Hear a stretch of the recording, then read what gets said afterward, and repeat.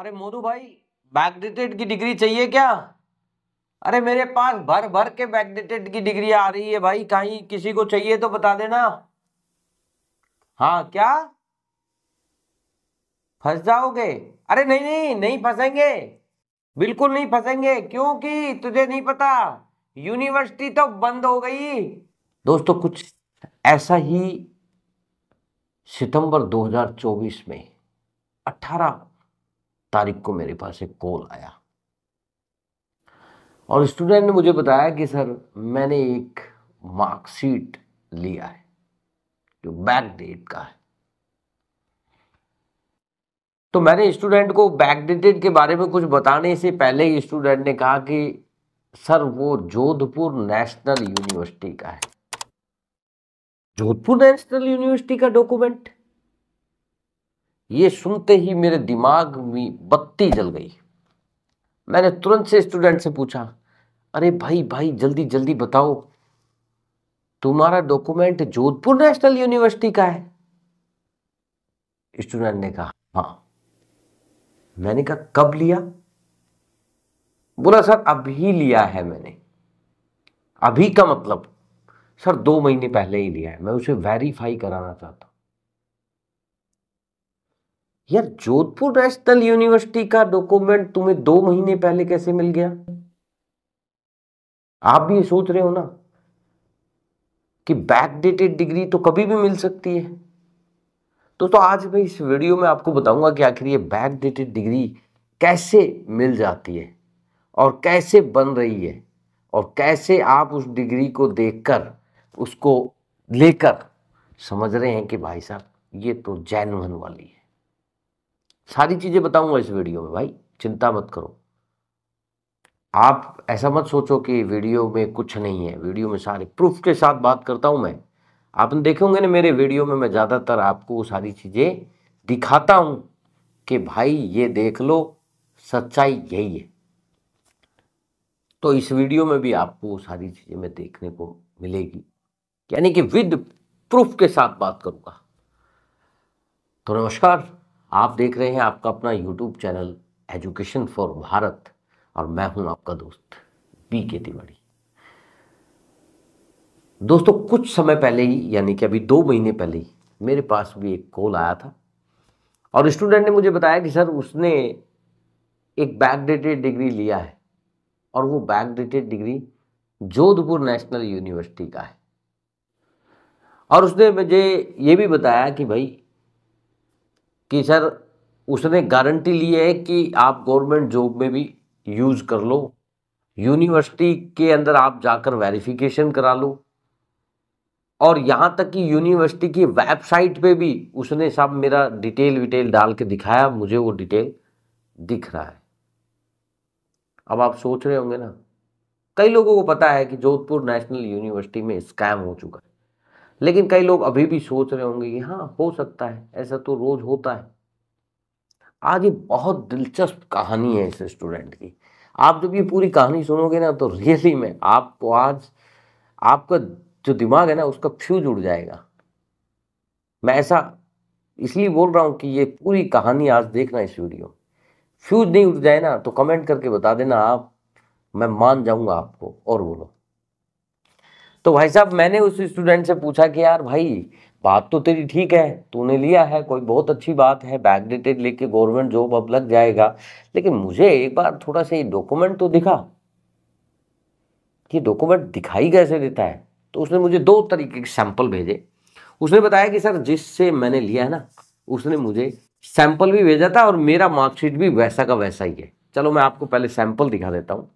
ये मार्कशीट मैं आपको जो दिखा रहा हूँ, ये 2012 की यानी कि 2012 में इस तरीके से मार्कशीट दिखाई देती थी। मैं आपको स्क्रीन पे दिखा रहा हूँ, आप देख लेना। ये जोधपुर नेशनल की मार्कशीट है, जोधपुर नेशनल यूनिवर्सिटी, जो कि राजस्थान की है। जोधपुर में स्थित है। उस यूनिवर्सिटी की मार्कशीट ये ऐसी दिखाई देती है। फिर मैंने कहा कि चल, अब आप वाली तो मार्कशीट को दिखा दो, अगर वेरीफाई कराना है तो हम करा देंगे। क्योंकि मुझे तो इस बात को समझने में ज़्यादा देर नहीं लगी। लेकिन मैंने उनसे कहा कि चलो आपकी मार्कशीट आप भेजो। तो उसने मुझे कहा, स्टूडेंट ने, कि सर मेरी वाली वह मार्कशीट है ना, उसको आप वेरीफाई करा दो। तो मैंने कहा, भेजो। तो उन्होंने मेरे को जो मार्कशीट भेजी स्टूडेंट की, मैं आपको दिखा देता हूँ, ये 2023 की मार्कशीट है। मैं आपको स्क्रीन पे दिखा देता हूँ, आप घबराइए मत, टेंशन मत लीजिए आप। ये जो मार्कशीट आपको दिखाई दे रही है 2023 की मार्कशीट है और ये जून 2023 में पास आउट ये स्टूडेंट यहाँ से हुआ है।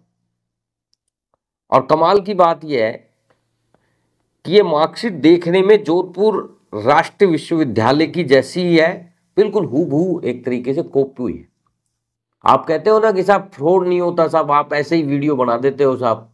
तो मैं उस वजह से आज आपको ये चीज़ दिखा रहा हूँ। और अभी तो सुनो, इस वीडियो को कंप्लीट देख के जाना फिर जब मैं सारी बातें बता दूँगा ना इस वीडियो में, जब आपके फ्यूज उड़ जाएँगे आज कि ये मामला क्या है। तो मैंने स्टूडेंट से जानने का प्रयास किया कि यार, बड़ा मज़ेदार मामला सामने आया है। इस पे तो बहुत ही क्लासिक वीडियो बनेगा। तो मैंने स्टूडेंट से पूछा, भाई, कैसे लिया आपने ये? तो बोला, साहब, हमारा एक जान पहचान का एक एजेंट है और वो यही काम करता है। तो उसने कहा था कि तुम्हारे को जोधपुर नेशनल यूनिवर्सिटी के जो है, उसमें हमारी जान पहचान है और वहाँ से आपको ये कोर्स करा दें। तो मैंने कहा, जोधपुर नेशनल यूनिवर्सिटी आपने देखी है? बोला, साहब, नहीं। मगर एग्ज़ाम देने गए थे आप? बोला, साहब, कभी नहीं गए। तो मतलब आपको जोधपुर यूनिवर्सिटी के बारे में कुछ पता भी नहीं है? बोल, नहीं। अब मुझे क्या है कि हँसी आ गई। तो स्टूडेंट ने पूछा कि, सर, आप हंस क्यों रहे हो? फिर मैंने देखा कि यार, नहीं। किसी का दिल नहीं दुखाना चाहिए, जो बात है, सच में उसको बता देनी चाहिए। फिर मैंने स्टूडेंट को कहा कि तुम्हें ये पता होना चाहिए कि ये यूनिवर्सिटी सन 2015 में बंद हो गई है। मतलब सन 2015 में इस यूनिवर्सिटी ने एडमिशन लेने बंद कर दिए थे और 2017 में एक न्यूज़ आई थी, उस न्यूज़ में ये लिखा गया था कि यूनिवर्सिटी को डिजोल्व किया जा रहा है। यानी कि ये 2015 के बाद ये यूनिवर्सिटी वर्क नहीं कर रही है। बोला, सर, ऐसे थोड़ी होता है। तो मैंने कहा, भाई, ऐसे क्यों नहीं होता? मेरे पास तो न्यूज़ के आर्टिकल है। मैं तो जानता हूँ इस यूनिवर्सिटी को। यहाँ तक कि मैंने इस यूनिवर्सिटी को फिजिकली भी देखा है। मतलब वहाँ जाकर मैंने देखा है इस यूनिवर्सिटी को। इसलिए मैं तुम्हें बता रहा हूँ। तो है स्टूडेंट ने मुझे बहुत ज़बरदस्त एक चीज़ बताई। और चीज़ को देखकर मैं भी यार शॉक्ड हो गया। क्या? इतना एडवांस हमारा देश कैसे हो गया? कमाल है यार, हमारे देश में ऐसे ऐसे लोग भी रहते हैं। उस स्टूडेंट ने मुझे बताया कि, सर वेबसाइट पे दिखाई दे रहा है। मेरा जो डिटेल है, सारा वेबसाइट पे दिखाई दे रहा है। मैंने तो उसको पैसे जब दिए थे, जब उसने मेरे को वेबसाइट पे दिखा दिया। अब जब वेबसाइट का नाम आया तो मेरे भी दिमाग के फ्यूज उड़ गए। यार, वेबसाइट पे कैसे दिख रहा है? यूनिवर्सिटी तो वाकई में 2015 में मतलब बैन हो चुकी है। उसके अंदर बहुत बड़ा स्कैम हुआ। अट्ठाईस हज़ार डिग्रियाँ मिली। वहाँ यूजीसी की साइट पे उन डिग्रियों की लिस्ट अपलोड हुई। उनके जो स्टूडेंट्स हैं, उनको नौकरी से निकाला गया। ये सारी चीज़ें मतलब मैंने इधर उधर से पता कर रखी थी, मैंने सुन रखी थी।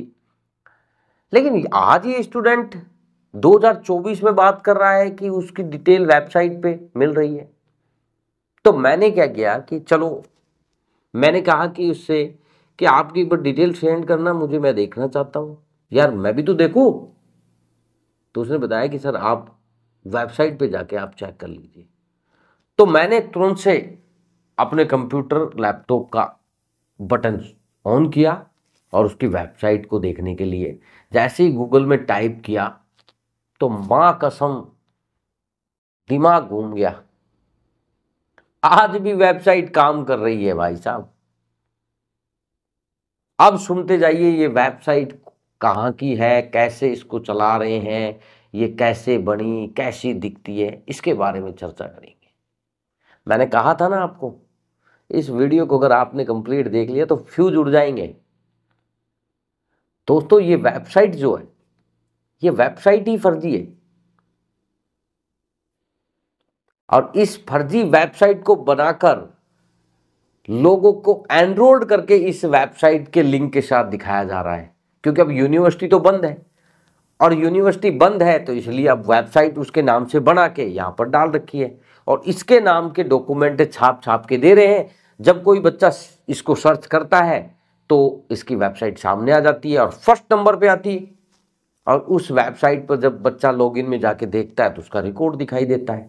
लेकिन इस वेबसाइट में बहुत सारी कमियाँ हैं, जिसे आप देखकर समझ सकते हैं। लेकिन फिर भी इतना अब हमें ज्ञान होता तो फिर हम इन चक्रों में नहीं रहते। चलिए तो जैसा कि जोधपुर नेशनल की बात कर रहे हैं तो जोधपुर नेशनल की हम वेबसाइट खोलते हैं पहले। Jodhpur national sorry Jodhpur national की वेबसाइट ये आ गई कुछ इस तरीके से। ये दोस्तों, ये जैसे दिख रही है, जोधपुर नेशनल की वेबसाइट है और ये फ़र्स्ट नंबर पे आ रही है ना। एक और मैं यूनिवर्सिटी की वेबसाइट खोल लेता हूँ, जिससे कि आपको क्या समझने में बड़ी आसानी रहेगी ना। तो वो यूनिवर्सिटी अपन ले लेते हैं, राजस्थान की ही कोई दूसरी यूनिवर्सिटी मणिपाल यूनिवर्सिटी ले लेते हैं, ठीक है? मणिपाल मणिपाल यूनिवर्सिटी, जयपुर। ये मणिपाल यूनिवर्सिटी बेसिकली मैंने आपको समझाने के लिए ली है, जिससे कि आपको समझ में आ जाए, क्योंकि कई लोग ऐसे भी ना, जिनको थोड़ा सा समझ में देरी से आता है। तो ये जो जोधपुर नेशनल यूनिवर्सिटी है, इसकी हम वेबसाइट को ओपन कर लेते हैं, क्योंकि स्टूडेंट क्या कहते हैं कि साहब ऑनलाइन रिज़ल्ट है ना, यूनिवर्सिटी की साइट पे दिख रहा है।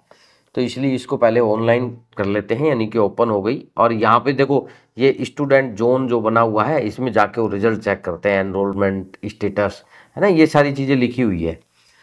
तो हमारा जो मैटर है वो ये है कि हम तो ये कह रहे हैं कि यूनिवर्सिटी की जो वेबसाइट है ना, यही फर्जी है। अरे, इसमें जो दिखाई दे रहा है, नहीं दे रहा है, वो तो बाद की बात है। हमारा जो मेन कहना है वो ये है कि वेबसाइट फर्जी अब वेबसाइट फर्जी इसको कैसे चेक करेंगे? तो पहले इसको भी अपन खोल के देख लेते हैं, मणिपाल की को। तो उसमें क्या है, पहले अपन समझते हैं, दोनों चीज़ों को समझेंगे ना तो अपन को क्या है, समझ में बहुत आसानी से आ जाएगा।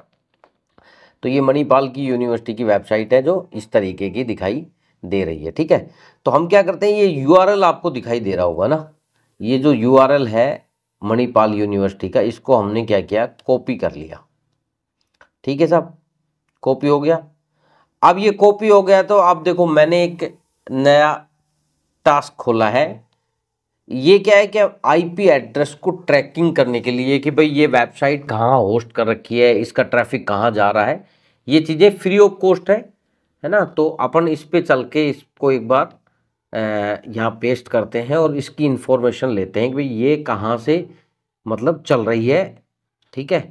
तो देखो, आप यहाँ पे देखना, इस पे जो आईपी एड्रेस है बेसिकली आईपी एड्रेस की बात क्यों कर रहा हूँ? क्योंकि जब कभी यूनिवर्सिटी की कोई भी वेबसाइट बनती है ना तो उसकी पूरी डिटेल वहाँ पे दी जाती है भाई यूनिवर्सिटी कहाँ की है का कौन से सिटी की है है ना? तो ये सारी चीज़ें। तो जैसे इसमें देखो, ये यहाँ पे कंट्री देखो आप। कंट्री कौन सी है इसमें? इंडिया यहाँ पे दिखाई दे रहा है ना कंट्री इंडिया है।